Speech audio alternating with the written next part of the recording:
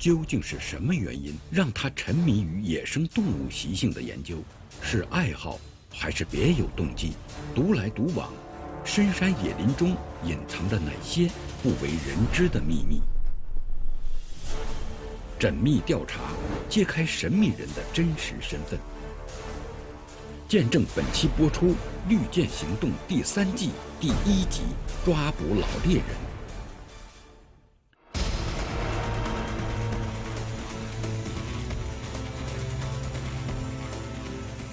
记录故事现场，见证社会变迁。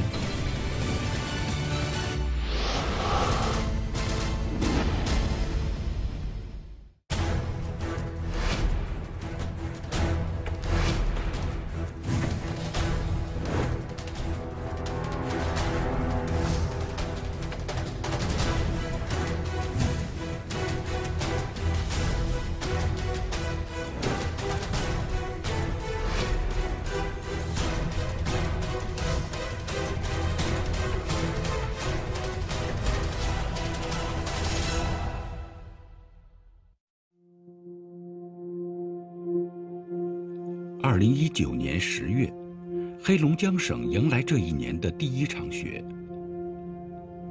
漫长的冬季就要到来，有冬眠习性的野生动物正在做着最后的准备。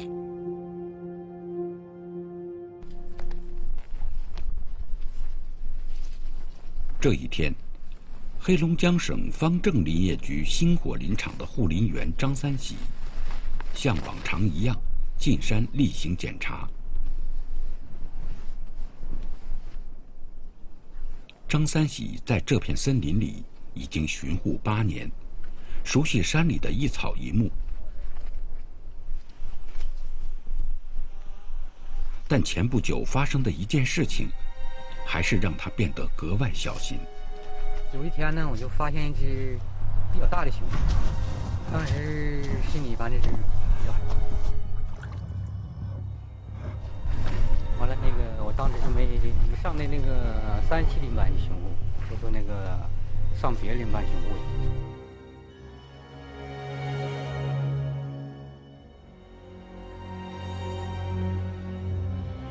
事情已经过去半个多月，张三喜壮着胆子，再次来到那头熊曾经出没的地方进行巡护。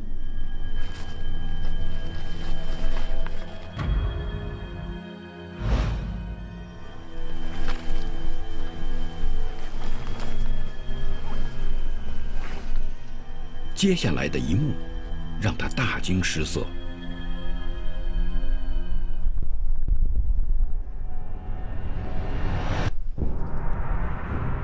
忽然发现有一张熊皮，当时鲜血淋淋的，应该是刚扑杀的。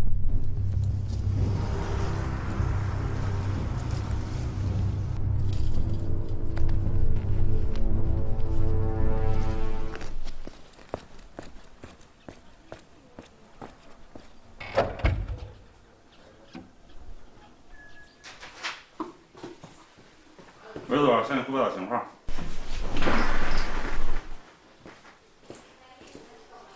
那个有个情况呢，跟那个韦所长反映一下。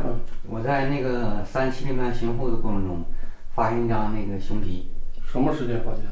嗯，大概是十一点左右吧，上午，应该是刚刚捕杀的，因为啥呢？还那个鲜血淋淋的。接到报案后。黑龙江省林业公安局方正分局大罗密派出所的民警立即前往现场。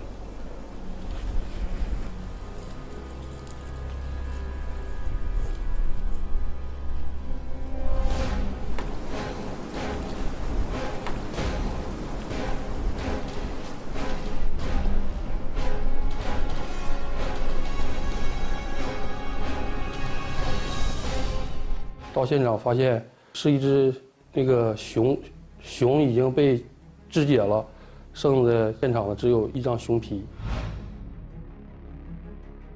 方正国有重点林区，位于黑龙江省哈尔滨市正东方向一百六十千米处，长白山脉张广才岭东北麓，松花江中游南岸，跨方正、林口和依兰三个县的部分行政区。这片一望无际的浩瀚林海，总面积有两千多平方千米，是众多野生动物生活的乐园。野生动物资源嘛也比较丰富，其中我们这儿有老虎、棕熊、黑熊，还有马鹿，还有野猪、狍子，等等野兔，什么野鸡多，就是有一百多种啊野生动物，就是森林覆盖率在百分之九十七以上。原本是野生动物生活的乐园，为什么会出现一张熊皮？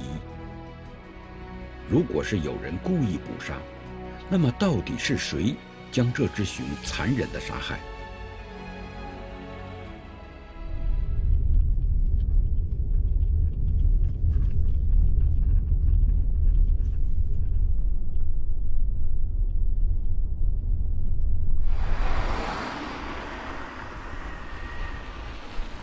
是非寻常，魏月刚第一时间向黑龙江省林业公安局方正分局上报案情。判决向您汇报一起案件。据那个星火林场巡护人员呢到派出所反映，星火林场三十七林班发现了一张熊皮。哦，什么时间发现的？进行对那个三十七林班巡护时候发现。线索有没有啊？你坐下，请坐。这样事儿，我说这么的，这个护林人员一定要给你保密啊，组织你这民警。那个已经五十八岁的潘增喜，从警近三十年，他非常清楚，这是自一九九六年黑龙江省全面停止狩猎后，在方正林区内第一次发生如此恶劣的事情。当时跟我反映的时候，我说应该是下套吧，他说对。这样呢，就是我让他秘密的开始调查侦查。刚才那个韦所长就跟我做了一下汇报，星火林场入山下套。潘院长也非常重视，一看这情况，因为本身这个熊是国家非常珍贵的东西，珍贵的这个野生动物，发生这个熊。这个被捕杀这种行为，说领导也非常重视，而且这个在这个，呃，我们当地也在老百姓心目中也觉得非常影响一个案件，他就其实跟命案一样，说熊的生命，就是说在我们当地来说，它因为毕竟是稀有的，就和人的这个命案是程度是一样的。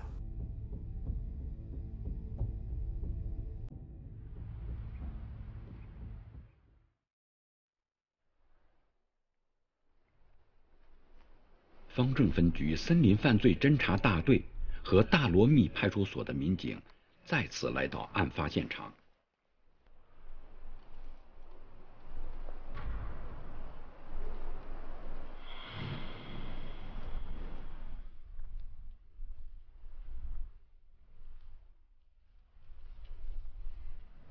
去那边看看。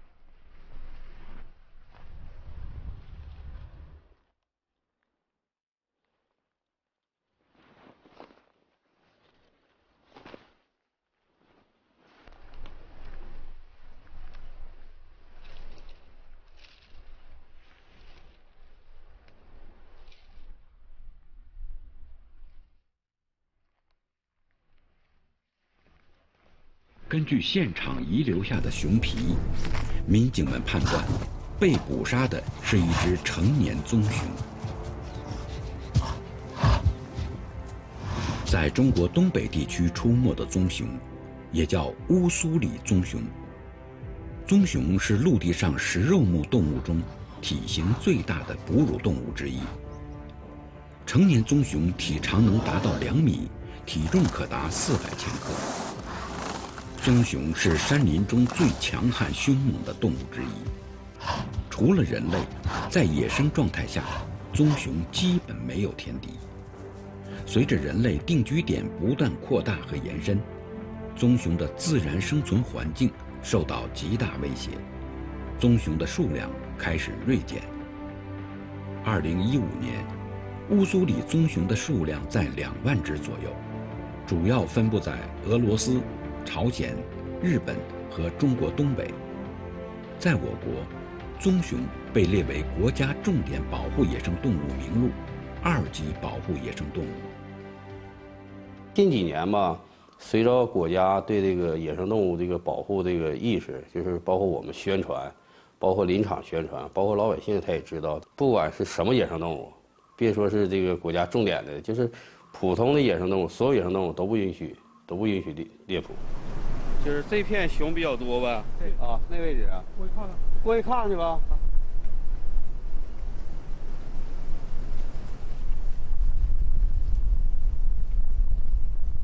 现场吧，没有别的东西，就是一张熊皮。因为山上这个人走过的脚印啥的，你根本你也就是说，它不像别的案发现场，根本也看不出来，看不出来这个东西。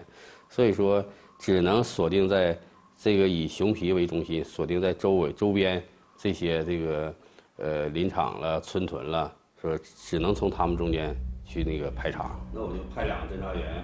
和那个派出所的民警，通过对案情的研判，民警们认为，这是一起有预谋的残害棕熊案。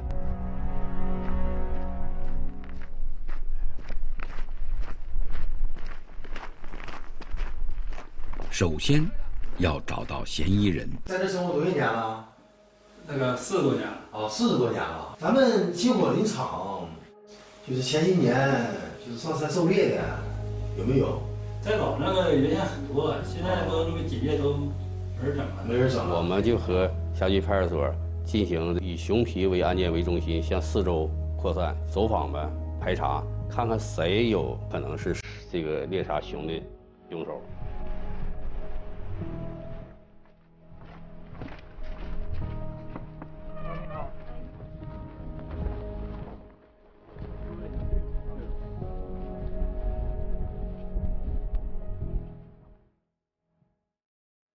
在我们走访排查的同时，难度也很大。一个林场四百多户，一千多人，我们逐户排查，逐逐人筛选，最终确定了嫌疑人三人。经过走访排查，这三人那个没有作案时间，也没有作案动机。原来咱星火就是狩猎那些，就是原来就是会会打猎的，现在基本还还像那个咱们林场就这块儿，就是这这段时间或者是这两年，有没有人？经常上山捕杀的狩猎的，这个我都不，我这个我不了解。这个我是今年我才，我得病了我才回来。我原先搁外头打工的。行，走吧，好了，走吧，走吧。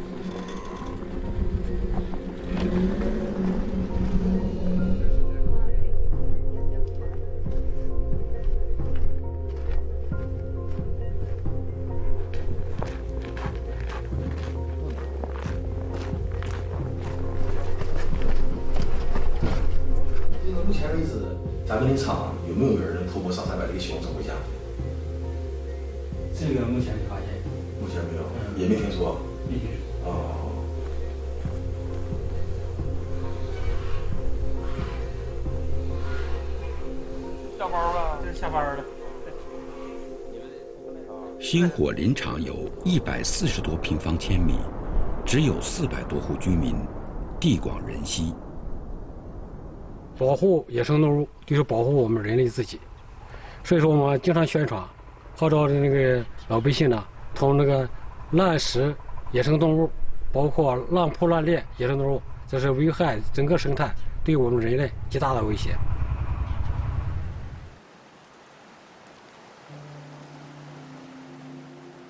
一个多月的时间里，办案民警挨家挨户的进行走访排查。没有发现嫌疑人，是作案者听到风声远走他乡，还是外地人作案？民警开始研究新的侦查方向。大家在会上一起一起就是这个研究吧，因为猎杀熊吧，它不是一般的猎人能够猎杀熊，他得具备多年的狩猎经验。对。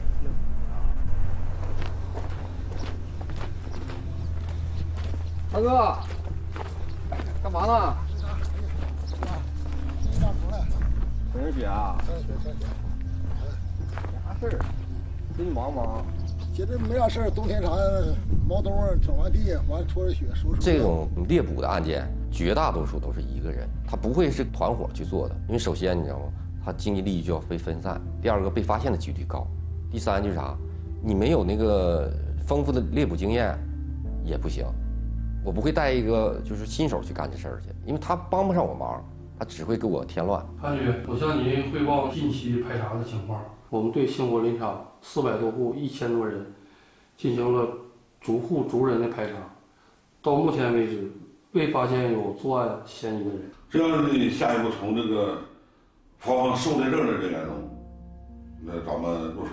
这个狩猎证那时候有的是。有狩猎证人员的潘增喜明确办案民警下一步的侦查方向，重点是在星火林场内曾经持有狩猎证的老猎人。不啊，忙啥呀？干啥呢？干啥呢？上班啊？没啥，那个聊点事儿，就是把那个聊天、唠嗑时候，跟前居民有没有什么反应？没听说过。行行，你该忙忙了。啊，了解啥情况给我打电话。啊，好嘞，好嘞，慢走。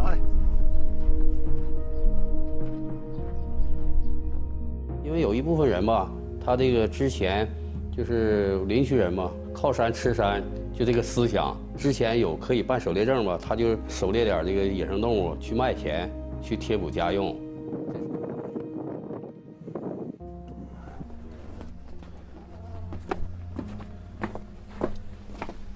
以后要是有什么这样有情况反映的话，直接上大所反映给辽高所长。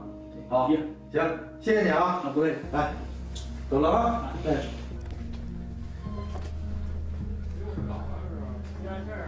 那个，这这上不上山了？没有。哦。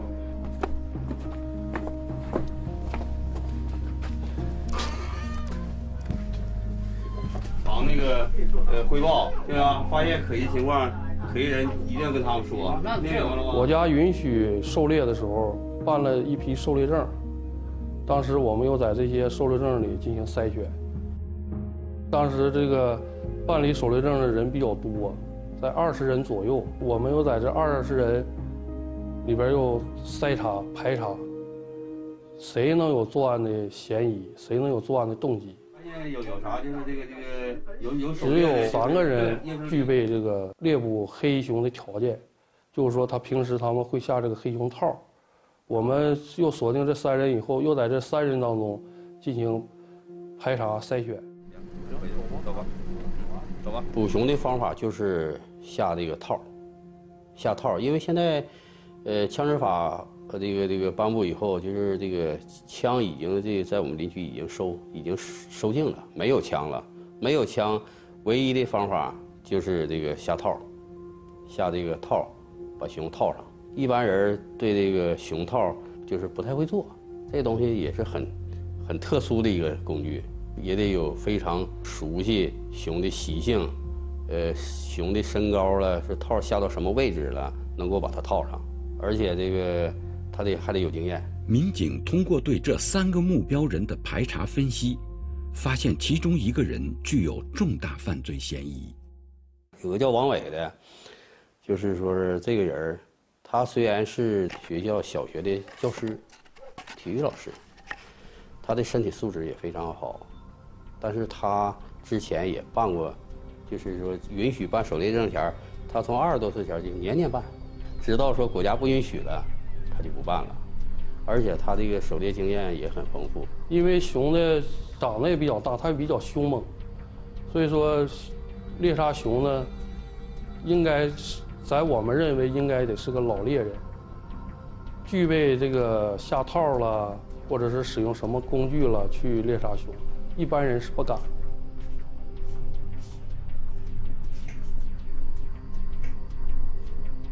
我们在排查中。就有，就是说是，呃，和他一起原来就允许打猎前儿，就是有一个有狩猎经验的人就跟我们说，说王伟曾经和他在一起说过，说我可以说我我会我会整，我有我就会做那个套我能给套他。而在此之前的走访排查中，王伟为什么没有引起民警的注意呢？我们为啥就是第一把排查就没把他列入到重点之内？因为他这人性格很孤僻，不与这个邻居了、朋友啥就很少与他们来往，所以说大家就是说对他不是那么太了解，所以说认为他就是说，因为他不跟别人来往，所以说他去整什么东西上山整什么野生动物，大家也因为不来往，大家也不知道。小学体育老师，老猎人，这会不会是一次错误的判断？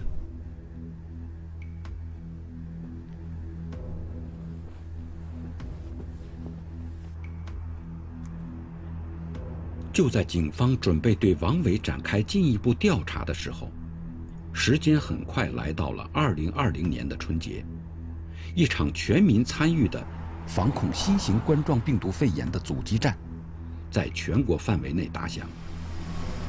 黑龙江林区公安局方正分局的民警投入到更为紧迫的任务中。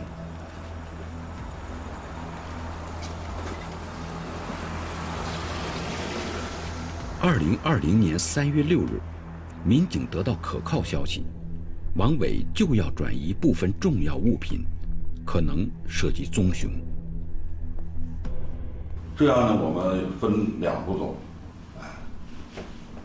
一步呢，由公局，呃，龚远兴副局长带队，直奔嫌疑人王伟家，派出所留俩人，片警。把他家给我守住。疫情期间，正是严厉打击非法猎捕、运输、收购、销售野生动物违法犯罪行为的关键时期。黑龙江林区公安局方正分局立即研究行动方案。二零二零年三月六日中午十二点，办案民警来到嫌疑人王伟家里。王伟夫妻正在准备午饭。嗯，我们进入后以疫情防控的为由，呃，到王伟家。当时吧，王伟吧表情非常淡定，他就是一直一直低着头，也沉默不语。如果说是正常的哈人人情况下，他肯定会问你你们来干什么。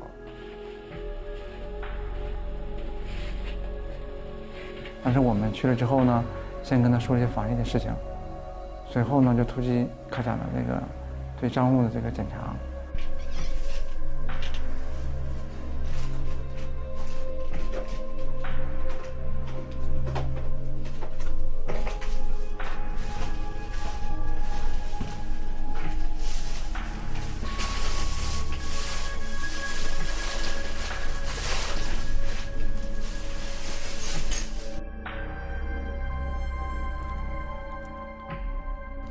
王伟家东边棚屋的一个塑料筐里，发现有钢丝套和铁夹子。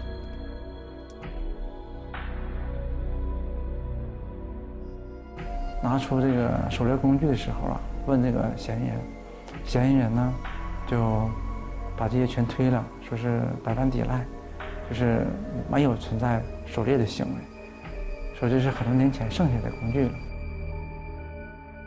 王伟家南边棚屋里，一个正在使用的冰柜引起了民警的注意。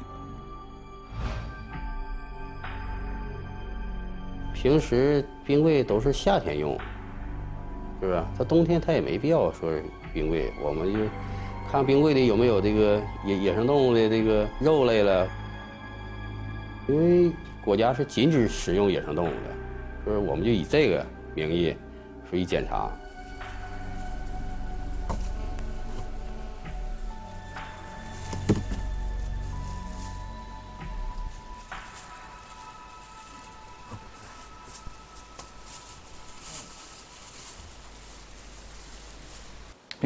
当时就是说，呃，有一小罐罐什么的装的东西，其中就有两个是熊胆，装在一个小铁的那个罐子里。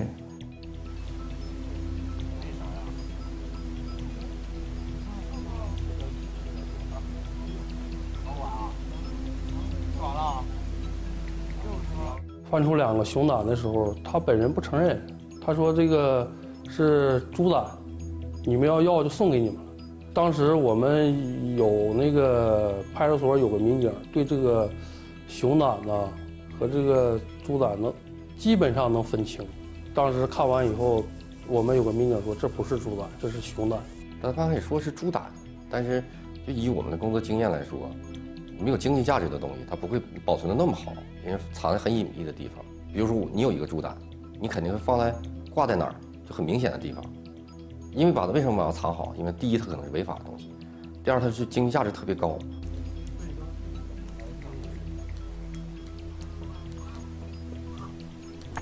通过跟王伟和他媳妇儿分别交谈，呃，夫妻俩均不承认非法狩猎的犯罪事实。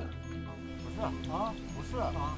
呃，这时候吧，我们就改变侦查方向，将王伟由侦查人员带到外面我们的警车内，呃，将王伟的爱人留在他家卧室，呃，分两组对王伟夫妻进行思想工作、感化教育。上车。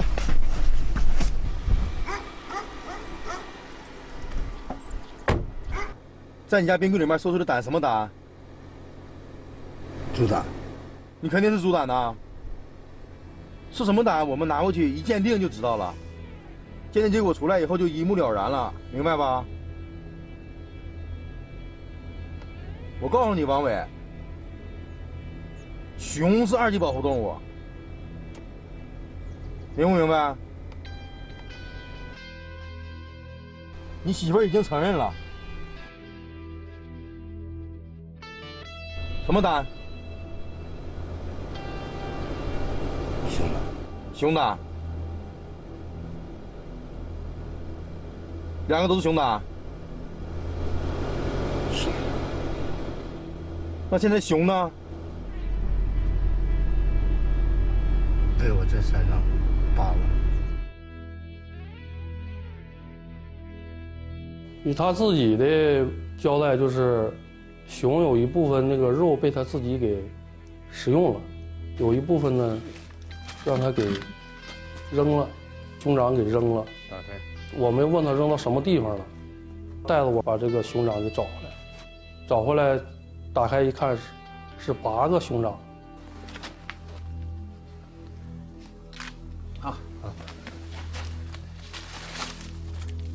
其中是四只大的，呃，是一个大熊的；四只小的，是一个小熊的。是分开装的。都得打开，都得打开。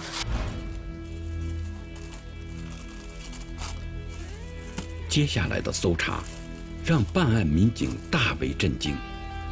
王伟的家中还藏有更大的秘密。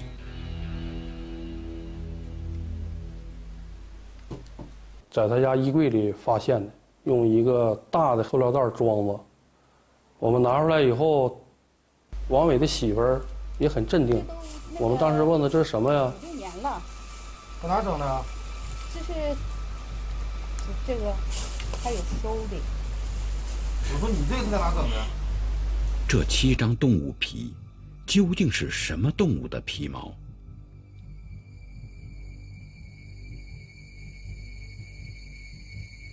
当时就告诉他了，你可以承认是这种东西，但是我们现在走法律手续，可以把这扣押做鉴定，一样可以定你是那个猎捕的物品。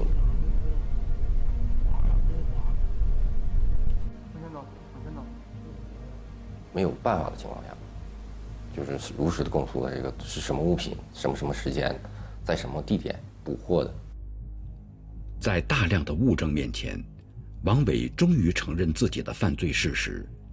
猎杀一大一小两只棕熊和七只紫貂。那么王伟究竟是一个什么样的人？从什么时候开始猎杀这些野生动物？王伟呢，性格比较那个孤僻。一般的时候呢，他只在家，跟邻居啊、什么朋友啊，他从来他也不是那么愿意接触。但是他有个什么习惯呢？就每期的《动物世界》，他都要看。他会一期不落的看，他就在通过看这个动物世界，在了解这个动物的生活习惯呢，什么动物的爱好了，他都是通过这个观看动物世界来了解。他自己也说，说我这个上山看到这个小动物呢，我就想办法想把它抓住。那些动物的脚印儿，它非常熟悉。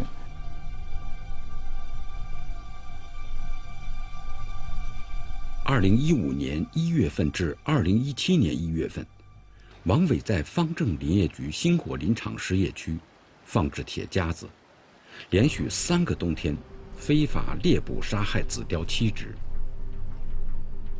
在我国，紫貂仅见于东北三省和新疆北部的深山老林中。目前，全国野外生存的紫貂总数仅有一千多只，被列为我国国家重点保护野生动物名录一级保护野生动物。二零一八年九月底，王伟独自向深山走去，在星火林场失业区放置了钢丝猎套。他就是利用那个钢丝绳，大概得有这么粗的钢丝绳吧，他做个套，钢索另一手拴在树上，利用这个钢丝绳套入他那个熊之后熊挣扎，逐步的消耗他的体能，最后等他体能不行了，一天两天或者是三天，啊，最后再靠近他。几天后，王伟再一次上山查看，发现一只小熊。在大熊旁边一直不肯离去。有个小熊就在这个大熊的，那个身边转悠。当时我们心里边也很难受，因为什么？因为这个小熊是这只大熊的孩子。动物跟人也都是有母爱，所以说这个大熊被这个王伟给肢解了以后，王伟最终把这只小熊下个套，也给套上之后，给残忍的杀害了。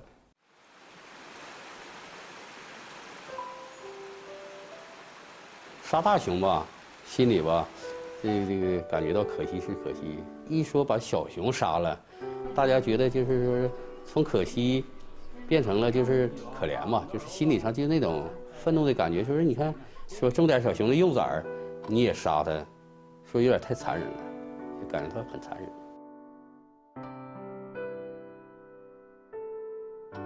它是活生生动物，何必杀它去呢？它又没有伤害到你，是不是？王伟将七张紫貂皮和两只熊的重要器官藏匿起来。这些年来，他一直联系买家，然而，他的如意算盘打错了。就是说，现在这个熊掌也好啊，是这个熊胆也好啊，还有这个紫貂，就是说你捕杀了以后，你也是卖不出去的，也没人去收购你这个东西。因为我们林业公安呢，对野生动物的保护宣传的力度都比较大。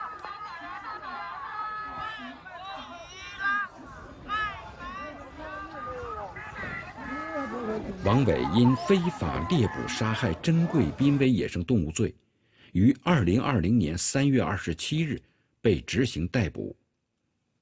二零二零年九月十七日，黑龙江省沿江人民法院对该案作出判决。